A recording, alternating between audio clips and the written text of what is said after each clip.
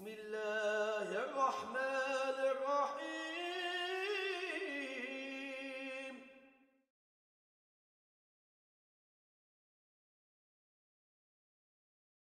الحمد لله الحمد لله نستعينه ونستغفره ونعوذ بالله من شرور أنفسنا ومن سيئات أعمالنا.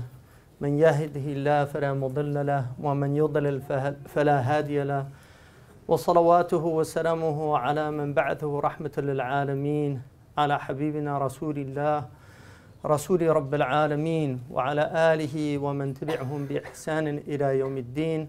أما بعد فيا عباد الله ويا معشر المسلمين أوصيكم وأوصي نفسي بتقوى الله في السر والعلانية فإن مخافة الله سبحانه وتعالى رأس الحكمة وإن المعصية أساس البوار والهلاك. Allah says that permission has been granted to those who were oppressed to fight. And then Allah says that they were driven out of their homes. They were driven out of their homes. Without any right, unjustly, except that they say, Our Lord is Allah subhanahu wa ta'ala.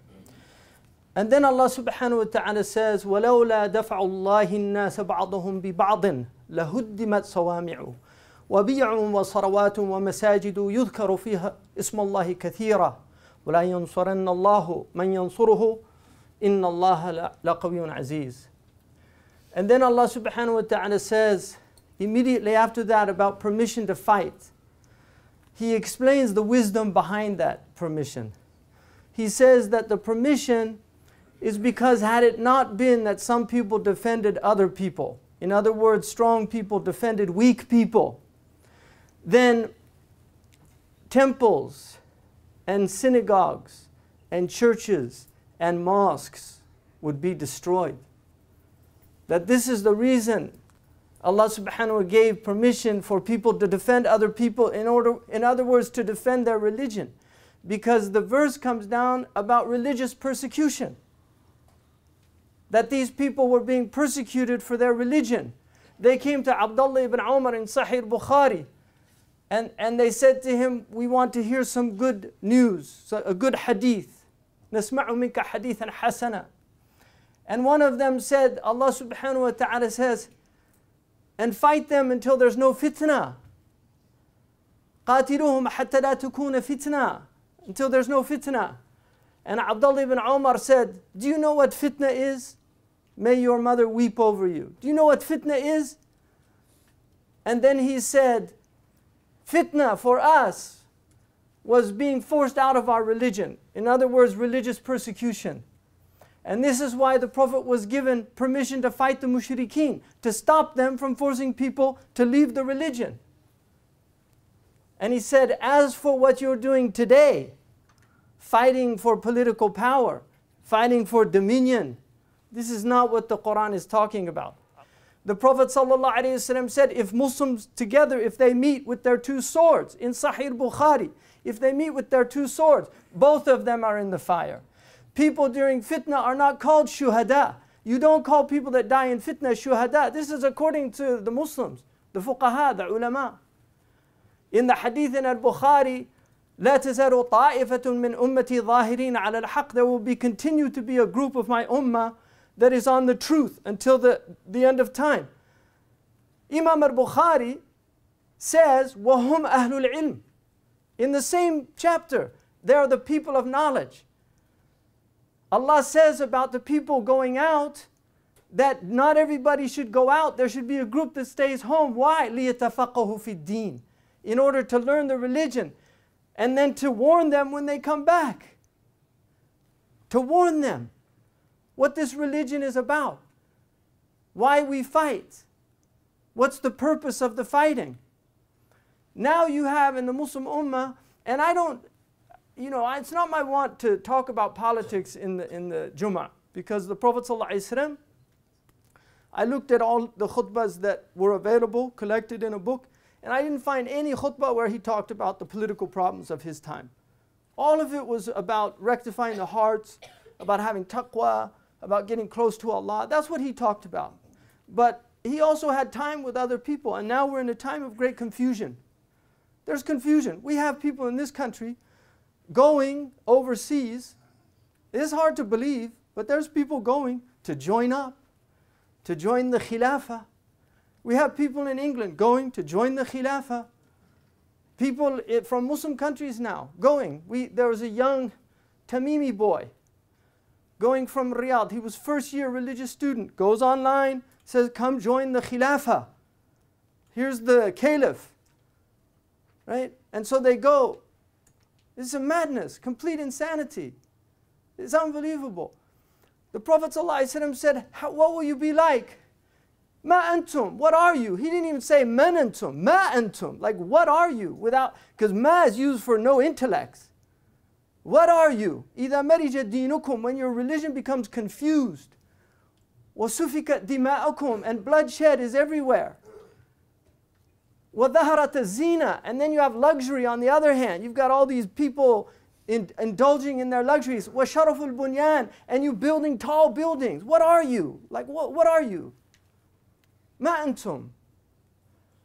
So, if you look at these ayahs where Allah gives permission to fight, permission was granted, it's a idhan, it's a rukhsa. Fighting is not something desirable. The Prophet ﷺ said in Sahih Bukhari, لا تتمنوا لقاء العدو. Don't desire to meet the enemy. Don't desire that. This is a sickness in the heart. People that desire to go is a sickness in the heart. In Sahih Bukhari, in the chapter which is called the, the fitna التي تموج بعضها في بعض. Fitna that comes like waves, one after another, just one after another. It comes like waves. It says that Khalaf ibn Hawshab said, كانوا يستحبون الصحابة كانوا يستحبون أن يتمثلوا بأبيات امرؤ القيس. They used to recite jahili poetry. When the fitan would come, they would recite jahili poetry. What was what? They would recite الحرب أول ما تكون فتية تسعى بزينتها لكل جل- جهول حتى إذا اشتعلت وشبت ضرامها ولت عجوزا غير ذات حليل they would recite the poem to remind each other. The fitna, when it first appears, it appears like a decked out, beautiful woman, attracting every young ignoramus. Every young ignoramus. Until the conflagration happens, war breaks out, and then they see it for what it is. An old hag no longer desirable. Nobody wants it.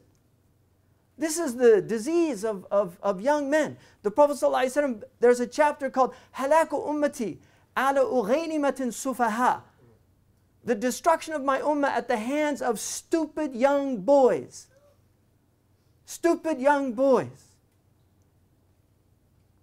These people are playing with fire, and this fire could break out. A conflagration, you know, once you get, once you get a, a, a bonfire, and, and, and you have dry grass everywhere, it takes over. Even the firemen here, they can't put out these fires. They have all the technology in the world. Once you start a fire, you know how hard it is to put out a forest fire when it's dry? And what do you think fitna is? Fitna is, is fire that tests gold. That's the meaning of fatana. Aranari yuftanun. On the fire. They're, they're, they're, in, the- in the hellfire. على النار يفتنون ذوقوا فتنتكم Taste your fitna. You want fitna? ذوقوا فتنتكم Taste it. But nobody wants to, nobody wants to follow the people of knowledge. That's the first thing. The people of knowledge have no voice anymore. It's just all these young boys out there on, on Google. That, that's who now uh, rules this religion. Young boys, not people that will spend 20 years to study the religion, to look at what the fuqaha say. Now it's just young boys. This is who runs our religion. This is who gives the fatwa now. And the ulama, when they speak, they say, oh, ulama sultan. You can go to the deserts of, of the Sahara. There's still some ulama there. There's not many left, but there's still some. They've never gone inside a palace. They've never spoken to anybody in political power. And you ask them what they think. What's the ruling of God in this? People that spent 30 years studying fiqh, mastering a tradition, mastering the Arabic language. Now you have people, we've got crucifixions because these idiots read the Quran and they say, well, there it is right there in the Quran. Crucify people. You open up the Quran for, for, for everybody and say, oh, here it is. Anybody can read the Quran. I know Arabic. I have a four year degree from uh, Baghdad University. Imam Shafi'i studied 17 years. These people didn't speak about the religion. The Sahaba were afraid to say things, they were afraid to speak. Now, when after that, Allah says, الذين مكناهم في الأرض يقاموا الصلاة Those who, when we give them tamkeen in the earth, what do they do? They establish prayer, وآتوا زكاة, and they take care of poor people. وأمروا بالمعروف ونهى عن المنكر ولله عاقبة الأمور and they, they enjoin good and they forbid what's wrong. The Prophet said, How will you be when the ma'ruf is munkar and the munkar is ma'ruf? How will you be when people will see a wrong thing as a good thing and they'll see a good thing as a wrong thing?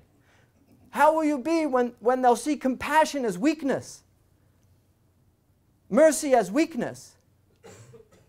The Prophet ﷺ was a merciful person. When Khalid ibn Walid, in Sahih Bukhari, when, when Khalid ibn Walid actually had prisoners and, and, and they, were, they were so confused they couldn't speak properly, and then he had them killed.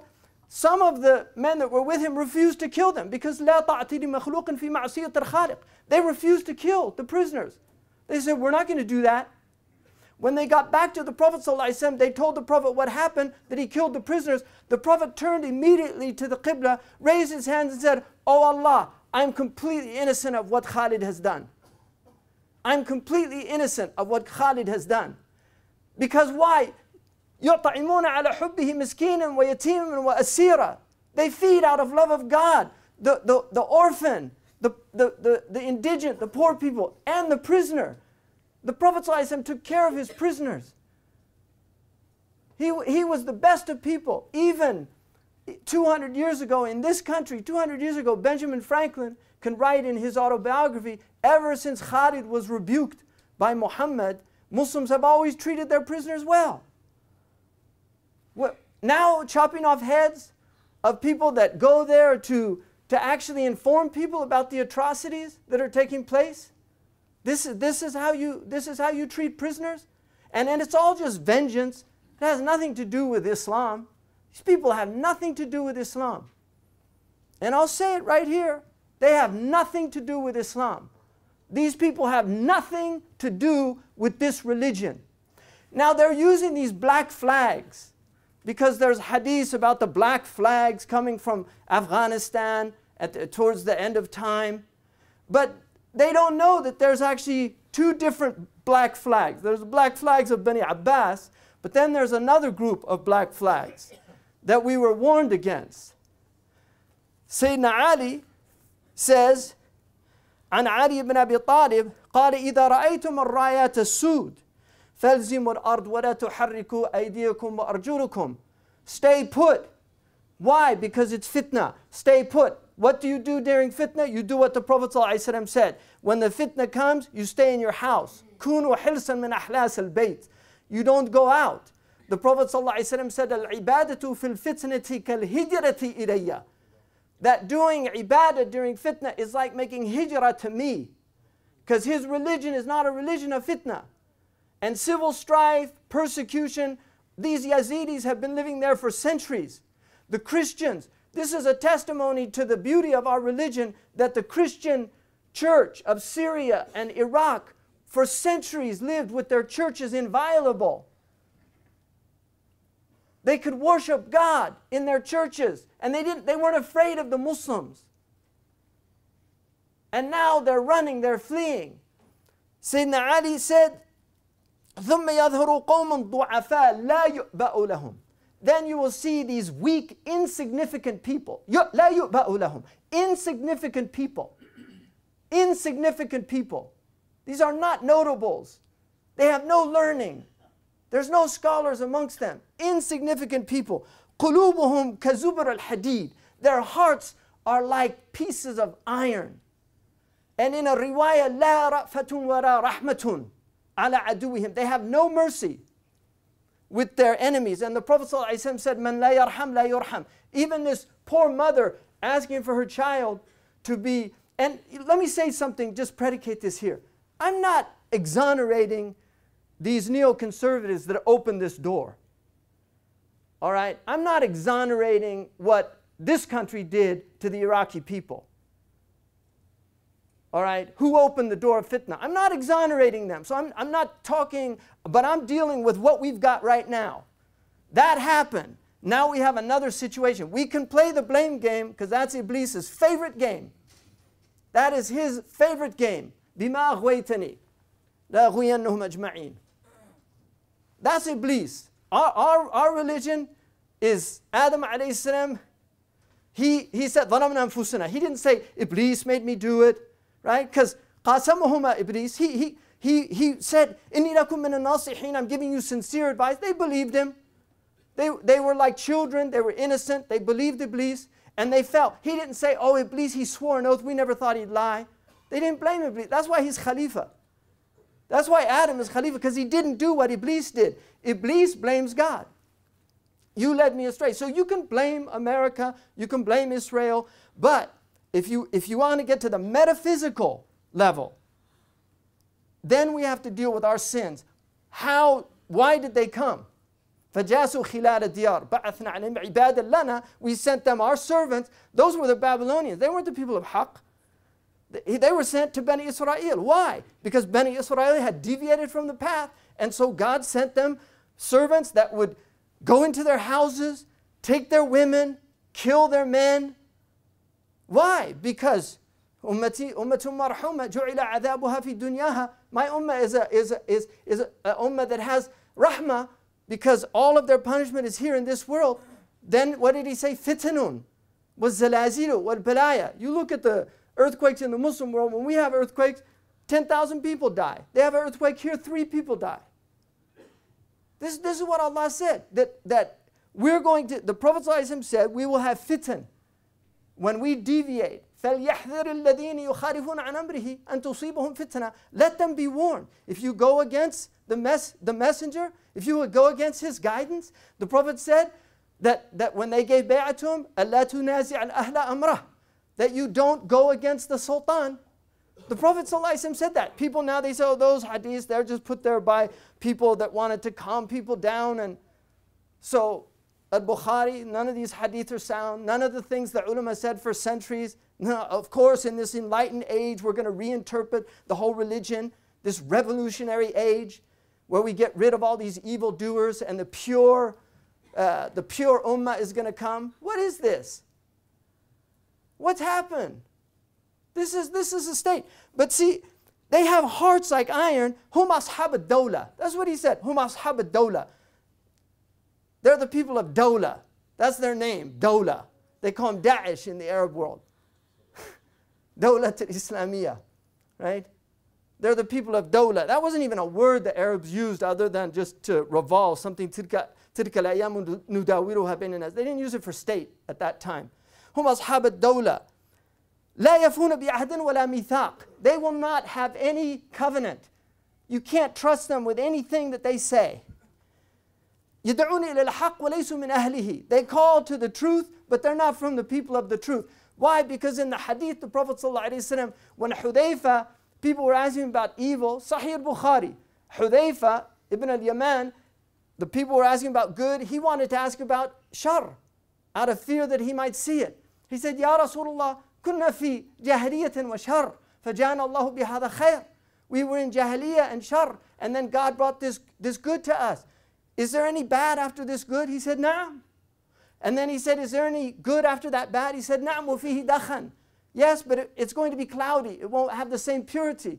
And he said, Ma, ما دخنه يا رسول الله. What, what's the cloudiness? He said, قوم يهدون بغير هدي تعرف منهم وتنكروا. People will guide with other than my guidance. You will know some things and you'll reject other things. And then he said, Is there evil after that good? He said, نعم. دعاة على أبواب النار من أجابهم قذفوا فيه. The, those who, they're, they're callers on the doors of the hell. If you answer them, if you respond to their call, you will be flung into the hell. Hudayfa said, Sifhum lana ya Rasulullah.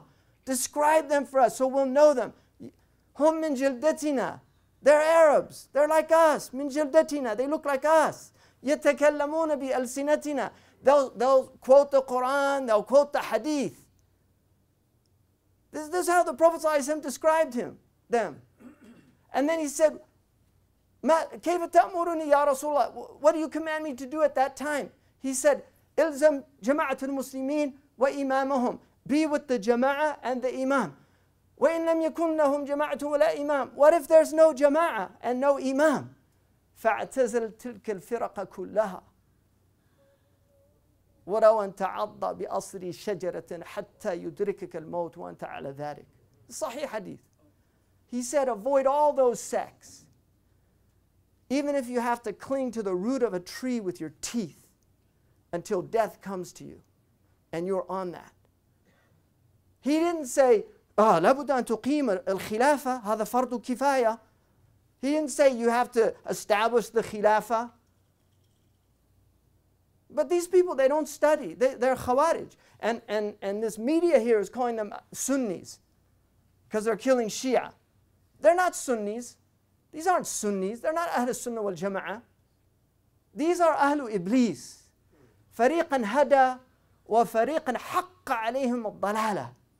One group was guided and another group حق عليهم الضلالة. ثبت عليهم الضلالة. In the hadith then he says, أسماؤهم الكنى. this is how you know them. And if you don't think these are accurate descriptions, Hudayfa said the Prophet got up in a khutbah and he spoke the whole day. He said every single fitna that would happen until the end of time. He described the leaders, he told us their names, he told us what would happen, and he said some of us could remember and others couldn't. Every single fitna. So don't think these things weren't mentioned. Asma'hum al-kuna. Their names are Abu so-and-so and Abu so-and-so. They don't go by their real names. Asma'hum al-kuna. Wanisbatuhum al-qura. And, they, and they, they go back to towns, places. They don't go to tribes because the Arabs, they go by tribes. These people know they go by places. Al-Baghdadi, Al-Ambari, Al-Juwayshi. All these, all these names of their towns that they're from. Al-Libi, Al-Musri, Al-Maghribi. They go back to places. This is what the Prophet ﷺ, because it has hukum al-rafa, and people can say it's a weak sanad. It sounds pretty sound to me. وَشُعُورُهُمْ مِرْخَاتٌ كَشُعُورَ النِّسَاء They have long hair, wearing it like women. Look at all the pictures of these guys with their long hair. Because it's not that the Prophet ﷺ didn't have long hair, but it's no longer fashionable in the Arab world. Arabs don't wear their hair long, so that's a sign that you know them. Their hair's long. حتى يختلفوا فيما بينهم. They'll start fighting amongst each other. That's the nature. There's another troubling hadith that the Prophet ﷺ said, ستكون فتنة في الشام أولها لعب الصبيان. It begins with children playing in Dar'a. And then he said that it'll just be after that one fitna after another. كل ما سكن فتنة هاجت فتنة أخرى. Every time it calms down in one place, it starts up somewhere else. In this, إذا خرجت راية السود, if you see the black flags, فإن أولها فتنة. It begins with a fitna. ووسطها ضلالة. And, and, and, and the midst of it is delusion, misguidance, error. وآخرها كفر. And it ends with atheism. Because that's what's going to happen. People, people start losing their faith. This is what happened to the Europeans. They had World War I and II. It was enough for them. They don't believe in God anymore. They were a profoundly religious civilization. Look at all the churches they built. People, get, people can't take it. That's so much. Where's God?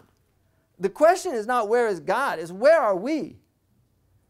That's the question. He's not asked about what he did, but we're going to be asked about what we did. Why aren't we following the guidance of the Prophet ﷺ? And in this hadith that Makhul relates, he says, Mali wali bani al-Abbas, because most of these they thought had to do with the Abbasids. But then he said, Shayya'u ummati, they split my ummah. Wa albasuhum thiyab al-sawad. And they put black clothes on them. Albasuhum thiyab al-nar. May God put clothes of fire on them. These people are Khawarij. They're killing Muslims. They, they, they've every single criteria. And don't be fooled by their piety. Don't be fooled by their piety because the Prophet ﷺ said, عند صلاتهم تحقرون صلاتهم. When you see them pray, you'll consider your prayer uh, insignificant. وعند صيامهم تحقرون صيامكم. But he said, يقرؤون القرآن ولا يتجاوز حناجرهم. They'll recite the Quran, it won't go past their throats. The ulama said it means they won't understand it. They don't because they don't have the tools. You can't understand the Quran without the tools. They won't understand it.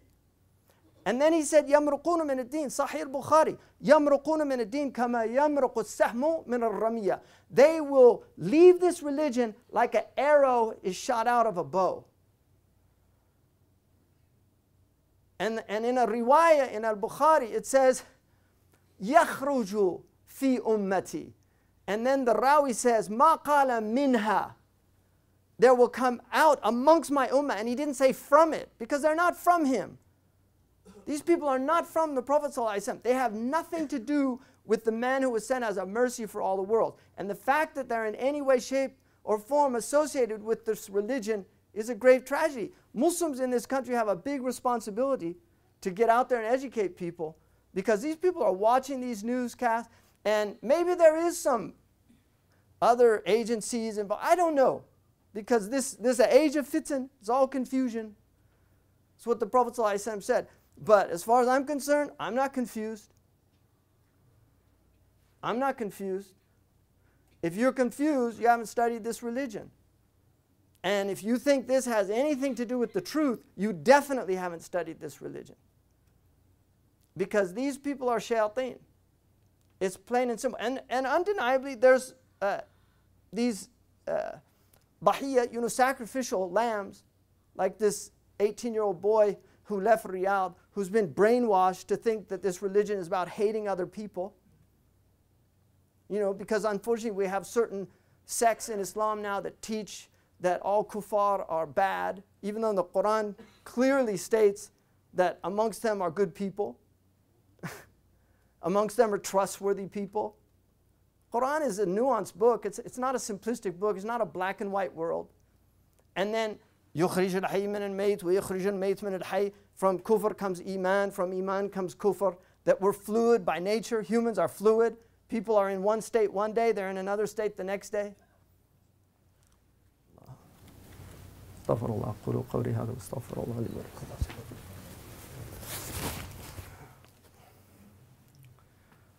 Alhamdulillah, wa salatu wa salamu. Unfortunately, there's not many uh, scholars left in our ummah. Uh, there really isn't. Uh, but the few that are left, they all agree, they all say the same things, that whether they were trained in, in Afghanistan or Mauritania or Malaysia or Egypt or Iraq, if, if they were trained in the Senate tradition, they all say the same thing. They don't disagree. That's, a, an amazing thing about this religion. But the sects outside of them, they disagree. They have different opinions. And that doesn't mean that the scholars don't differ amongst them, but about certain things, they're, they're in agreement about. And one of them is that fitna is worse than, than killing. Fitna is worse than killing. Quran. Al fitna akbaru min al qatl. Civil strife is worse than killing itself. Just the fact that humans are filled with strife. Because shaitan, that's, that's what he wants to do, reduce us. He wants to prove that, that the angels, in their question to God, are you going to place in the earth those who corrupt and shed blood? That's shed blood. That's what they ask. Is it going? that, this is what they're going to do? The Prophet said, you have wiggle room with your Lord as long as you don't shed blood. The Quran says that if you kill a believer, muta'ammidan, فجزاؤه your, your, your reward is Jahannam. That's, that's the reward of killing a believer. And, and, and the mu'ahid, they have rights. People have rights. These people have rights. These Syrian Christians, the, the Syrian, uh, all these people have rights. They're mu'ahidun. They're supposed to be protected. And the Shia are Muslims. They're, they're not kuffar, they're Muslims. Just because he's a Shia doesn't give anybody a right to, to, to kill him or do anything. But these people don't care. We, I met a man in Turkey who was a Naqshbandi from Halab. He had welts on his back from the torture that they did with him. To- why? Because he was an imam in a masjid that where they did dhikr in a group. That's why he was tortured. And they were going to kill him. He escaped. They had a raid and, and, and a bomb fell and he got out and he fled to Turkey. We met him. I had lunch with him. That, that, that's the type people we're dealing with. And then they've got all the women covered from head to toe. There's a khilaf. Niqab is not a, a, fard. That's an opinion of, of, of, a minority of the ulama. The majority don't say the face is not considered awrah, but they force because they only one opinion, my opinion, one religion, my religion. What I say is the only way to understand this religion. So we're gonna we're, we're gonna have to deal with this here because it's all started up again. It's all started up again. And don't think you can be comfortable in your homes, really. I'm telling you. I am telling you. Do not think that you can be comfortable in your homes. Because we're, we're in a very precarious situation in the first place. These mosques, thank God we've got some social order here. Social order breaks down. People get fed up. You know, the Arabs say, watch out for uh, the halim if he gets angry. People that don't get angry quickly, when they get angry, watch out. And now it's starting over again. They're, they're going to start bombing and again Muslims. They're going to be innocent Muslims are killed in these things, and it just keeps these cycles of violence going. Doesn't stop because these people have they don't know what to do. All they know is to kill. That's all they know. Just like this group over here, that's all they know. In the hadith, they say their shi'ar is amit, amit, kill, kill. That's all they know. So, you know, we have to deal with it. But Muslims, we need to wake up. We need advocacy groups. We need people need to support the, the groups that, that are out there, empower them. They need to be doing more work. I mean, I've been doing this 10 years. I feel like I, you know, I, I, just think I went to all those places, all those talks, all those things, and it's just we're back to square one. We're actually worse as far as I can tell. This is worse than before 9/11. Even my father, who knows Islam, I've been telling about Islam for 30 years. He's like, "Is this Islam?" You know, the cutting off heads, I guess it's in the Quran. So back to square one 30 years of, of dawah. you know, these people, I think they're going to have an excuse on Yom Qiyamah, all these people. That's according to Imam al Ghazali. What's our excuse? The Prophet, ﷺ, you know, he said that the, the, the, the, the all the fitna comes from the ulama and the umara. That's where it comes from. The ulama, they don't speak out, they don't, or they, or they uh, sell their deen, right? And then the umara, they, you know, but then also these, these political, these people that turned Islam into a political ideology to get power, you have to blame them as well. We're going to start the blame game. It's a long list. but in the end, we, we have to say that ظلمنا أنفسنا فإن لم ترحمنا right وتغفر لنا لنكونن من الخاسرين you don't have mercy on us forgive us we're going to be from the losers so th- this in the end we have to call on Allah in fact the fitna in, in the hadith the Prophet ﷺ said that the only one that will be saved from it is the one that makes the dua of, the, of a drowning man you have to make the dua of من دعا دعاء الغرق في البحر the one that makes the لا ينجو منها إلا من دعا دعاء الغرق في البحر they won't have salvation unless you make the dua of a drowning man in, in, in, in, in the ocean. So this is what we're up against. But I mean, I, I feel compelled to talk about this. I feel compelled to, you know, we have some young people that think somehow this has anything to do with Islam. You, you need to educate these young people. Young, young people f- filled with zeal, they want to do something, and, and they're fed up with seeing Palestinians massacred, Muslims massacred, nobody cares. They don't care here. They talk, they talk about the Christians in Iraq. What about all the Muslims? Far more Muslims have suffered at the hands of these people than, than Christians. They don't talk about the Muslims. Muslims, they, we don't mean anything. And that's, that's the other half of the equation, is that they, they see that there's no mercy in the hearts of these people, so they feel compelled to show no mercy. But that's not our religion. That's another religion. That's not our religion. Our Prophet ﷺ did not, uh, he, he didn't repel a wrong with another wrong. And he said, follow up a bad thing with a good thing, and it will obliterate it. That's, that's his religion.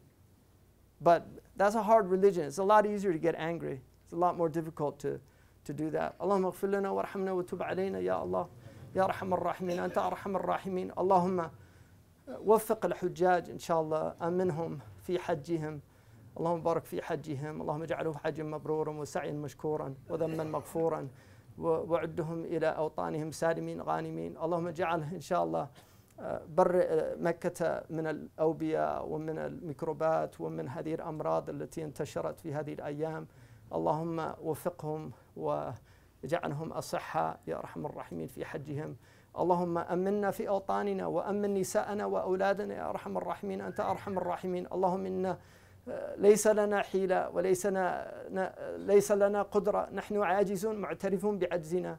اللهم أمنا يا الله. اللهم أمن المسلمين. اللهم أمنا في فلسطين وفي الشام وفي ليبيا وفي مصر وفي العراق.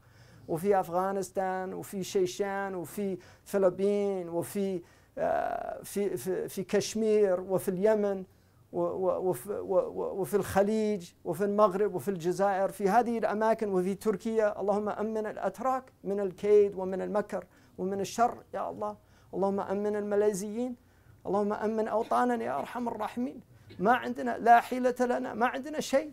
ما عندنا شيء عاجزون معترفون بعجزنا we have nothing يا الله nothing we only have you that's all we have we have nothing we only have you سبحانك آمنا بك we believe in you قلنا لا إله إلا الله محمد رسول الله اغفر لنا وارحمنا هذه الذنوب انتشرت في أمتنا في كل مكان There's sinfulness everywhere يا الله Your prophet warned us and we didn't listen to his advice لا تؤاخذنا بما فعل السفهاء منا. Don't take us to account for what these fools amongst us do. يا الله.